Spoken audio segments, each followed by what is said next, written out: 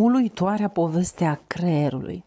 În sfârșit, dar nu în cele din urmă, cu toată cultura și educația cu care se laudă, omul nu înțelege aproape deloc forța intangibilă a gândirii, probabil cea mai mare dintre toate forțele invizibile.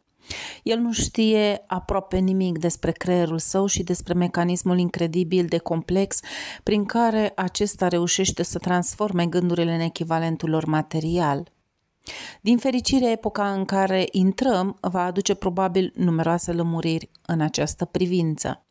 Oamenii de știință au început deja să-și orienteze din ce în ce mai mult atenția asupra creierului și deși se află încă abia la începutul cercetărilor lor, ei au descoperit deja suficiente lucruri despre acesta, inclusiv faptul că acest panou de comandă al creierului uman este compus dintr-un număr foarte mare de celule specializate și de conexiuni între celule, număr ce poate fi descris printr-un uh, 1 urmat de 15 milioane de cifre. Numărul este atât de mare, spune dr. Hudson Herrick de la Universitatea din Chicago, încât numerele astronomice referitoare la sutele de milioane de ani lumină devin nesemnificative prin comparație. S-a stabilit că în interiorul scoarței cerebrale există 10 milioane până la 14 milioane de celule nervoase aranjate în tipare bine stabilite. Aceste aranjamente nu sunt deloc întâmplătoare. Din potrivă, ele sunt cât se poate de ordonate. Metodele recent dezvoltate ale electrofiziologiei au depistat curenți electrici emiți de anumite celule precis localizate prin fibre înzestrate cu microelectrozi care sunt amplificați de tuburi radio ce pot înregistra diferențe de potențial de ordinul unei uh, milinonime de volt. Pare de neconceput că o rețea atât de complexă nu există decât cu unicul scop de a transmite funcțiile care permit creșterea și susținerea corpului fizic. Pare mult mai uh, probabilă ipoteza potrivit căreia acest sistem, care le permite miliardarilor de, miliardelor de celule ale creierului să comunice unele cu altele, le permite inclusiv să comunice cu alte forțe intangibile. Cu puțin timp înainte ca primul manuscris al acestei cărți să meargă la tipar în ziarul New York Times, a apărut un uh, editorial în care se arăta că cel puțin o mare universitate și cel puțin un mare cercetător în domeniul fenomenelor minții efectuează la ora actuală studii organizate ajungând la concluzii similare celor descrise în capitolul de față și în cel care urmează. Editorialul analizează pe scurt uh, cercetările făcute de Dr. Rin și uh, de asociația acestuia de la Universitatea Duke. Ce este telepatia? Acum o lună am citit în paginile acestui ziar câteva dintre remarcabilele rezultate obținute de profesorul Rin și de asociația acestuia de la Universitatea Duke în urma mai bine de 100 de mii de teste făcute cu scopul de a determina existența telepatiei și a clarviziunii. Aceste rezultate au fost sintetizate în primele două articole apărute în revista uh, Herpes Magazine. În cel de-al doilea articol, autorul uh, E. H. Wright prezintă pe scurt concluziile trase de cercetătorii în privința naturii exacte a acestor moduri de percepție extrasenzoriale. Existența telepatiei și clarviziunii li se pare la ora actuală multor oameni de știință extrem de probabilă în urma experimentelor lui Rien. În cadrul acestor experimente, mai mult mai multor subiecti li s-a cerut să descrie diferite cărți dintr-un pachet special, fără să se uite la ele și fără să aibă un alt tip de acces senzorial la ele. Un anumit procent dintre acești subiecti a reușit să descrie corect și în mod regulat cărțile, neexistând nici măcar o probabilitate de 1 la 1 miliard ca ei să facă acest lucru accidental sau dintr-un noroc. Cum a fost posibil? Presupunând că există aceste puteri, nu sunt senzoriale. Altfel spus, ele nu au un organ fizic corespondent. Experimentele au condus la aceleași rezultate, indiferent dacă se-au realizat la o distanță de câteva sute de mile sau în aceeași cameră. După părerea domnului Wright, aceste experimente resping inclusiv încercarea de a explica telepatia și clarviziunea din perspectiva teoriei fizice a radiației. Toate formele cunoscute de energie radiantă se reduc invers proporțional cu pătratul distanței dintre ele. În cazul telepatiei și clar viziunii, acest fenomen parcurs nu se produce. Cele două fenomene variază totuși în funcție de anumite cauze fizice, la fel ca și celelalte puteri mentale ale omului. Contrar unor opinii larg răspândite, celor două calități uh, nu se îmbunătățesc atunci când subiectul este complet sau pe jumătate adormit, din potrivă, ele ajung la apogeu atunci când subiectul este perfect treaz și lucid. Rainey a descoperit de asemenea că narcoticele reduc capacitatea de percepție extrasenzorială a subiecților, în timp ce stimulentele mentale o amplifică. O altă concluzie la care s-a ajuns a fost că un subiect nu poate obține rezultate optime decât dacă își dorește din răsputeri acest lucru. Wright afirmă cu toată încrederea că telepatia și clarviziunea sunt de fapt unul și același lucru. Altfel spus, facultatea care îi permite unui subiect să vadă o carte așezată cu fața în jos pe masă nu diferă cu nimic de aceea care îi permite acestuia să citească gândul din mintea unei alte persoane. Există mai multe premise care au condus la această concluzie. De pildă, cele două facultăți au fost descoperite la toate persoanele care se bucurau deja de una dintre ele. Mai mult, ele se manifestă uh, cu exact aceeași intensitate. Ecranele de uh, protecție, zidurile și di, uh, distanțele nu par să le afecteze pe niciuna. Wright a mers până acolo încât a emis ipoteza că uh, intuițiile specifice altor experiențe extrasenzoriale, visele profetice, premonițiile asociate cu dezastrele și alte fenomene paranormale de acest fel ar putea face parte integrantă din aceeași facultate. Cititorul poate să nu accepte aceste concluzii, dar dovezile acumulate de Rain în favoarea acestei concluzii sunt impresionante. După anunțul domnului Ray referitor la condițiile în care mintea reacționează în uh, modurile de percepție pe care el le numește extrasenzoriale, doresc să adaug că am descoperit împreună cu asociații mei ceea ce noi credem a fi condițiile ideale în care mintea poate fi stimulată astfel încât cel de-al șaselea simț de care ne vom ocupa în capitolul următor să poată fi activat și să devină funcțional. Condițiile la care mă refer se referă la o alianță între mine și doi membri ai personalului meu. În urma experimentelor, noi am descoperit cum ne putem stimula mințile prin aplicarea principiului asociat cu consultanții invizibili și descris în capitolul care urmează, astfel încât să putem găsi o soluție prin fuziunea minților noastre într-una singură la diferitele uh, probleme personale ale clienților mei. Procedeul este cât se poate de simplu.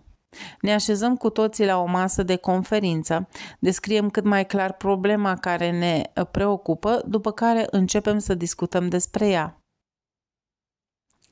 Fiecare dintre uh, noi contribuie în, la discuția colectivă cu gândurile care îi trec prin minte. Cel mai uimitor lucru legat de această metodă de stimulare mentală este că le permite participanților să se pună la unison cu anumite surse necunoscute de cunoaștere la care nu au mai avut acces până atunci.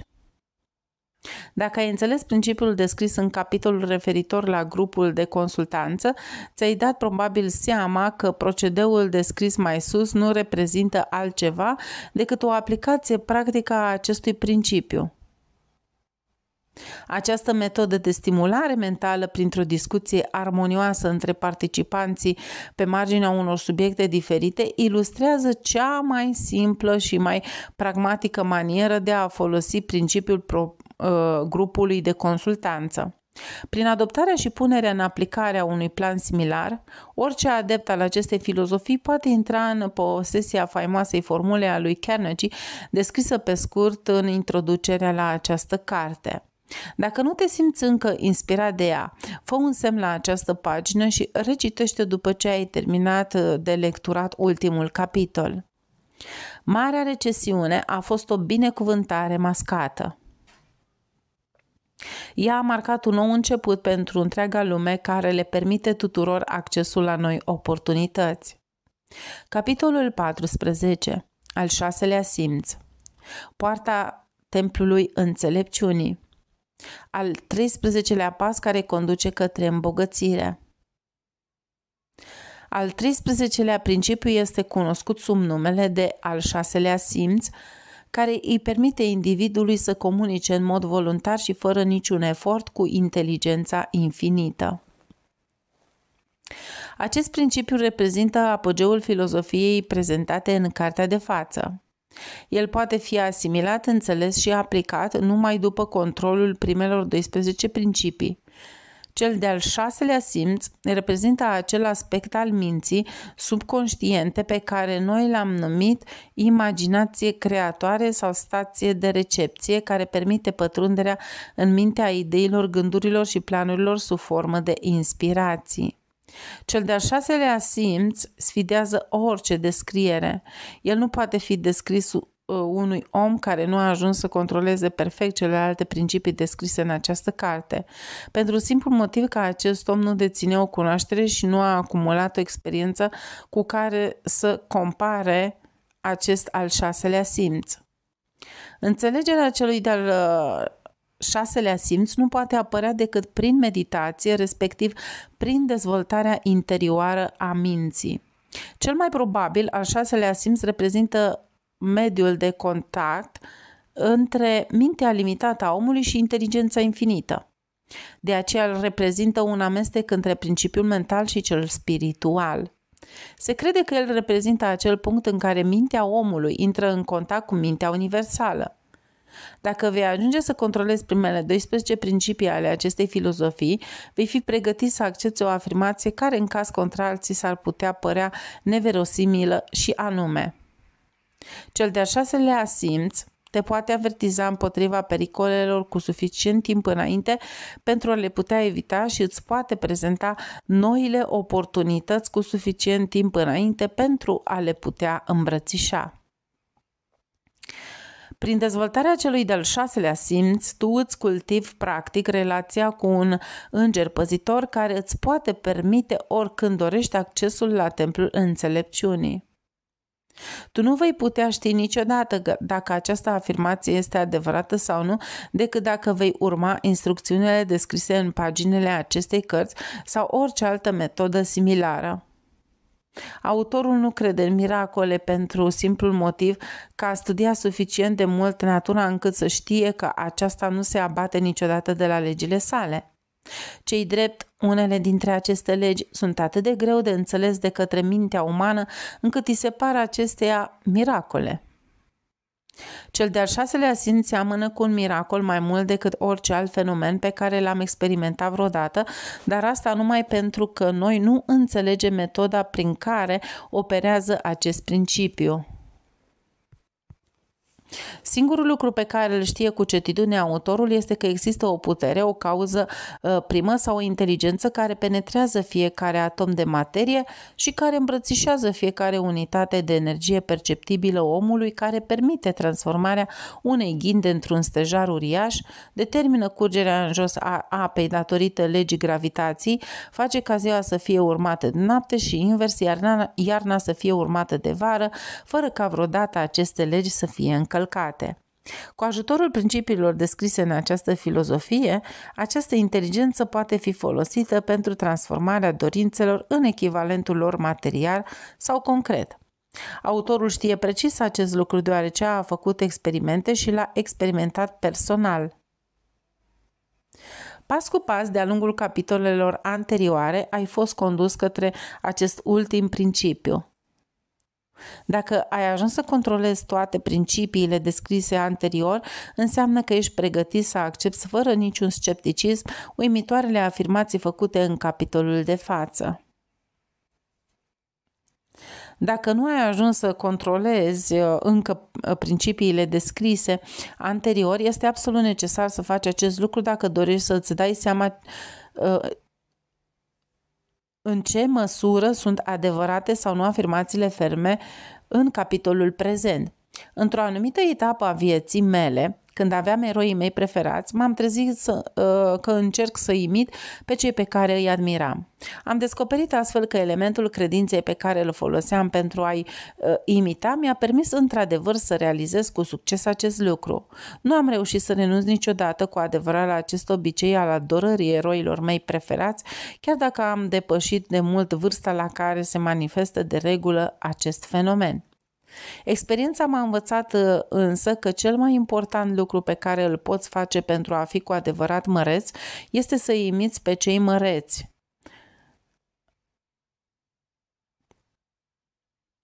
Cu mult timp înainte de a fi scris măcar un rând cu intenția de a fi publicat sau de a fi uh, ținut măcar un discurs în public, mi-am cultivat obiceiul de a remodela caracterul prin imitarea celor uh, nouă oameni a căror viață m-a impresionat în mod deosebit. Aceștia au fost Emerson, Payne, Edison, Darwin, Lincoln, uh, Burbank, Napoleon, Ford și Carnegie. Foarte mulți ani la rând mi-am cultivat uh, obiceiul de a ține în fiecare seară un consiliu imaginar cu acest grup de consilieri invizibil, după care i-am denumit eu. Iată cum procedam. Chiar înainte de a merge la culcare, obișnuiam să-mi închid ochii și să mă vizualizez așezat la aceeași masă rotundă cu acest grup de oameni. Nu numai că aveam astfel posibilitatea de a mă afla în mijlocul oamenilor pe care îi admiram cel mai mult pe lume, dar chiar uh, dominam prin funcția pe care o dețineam de președinte al acestui consiliu.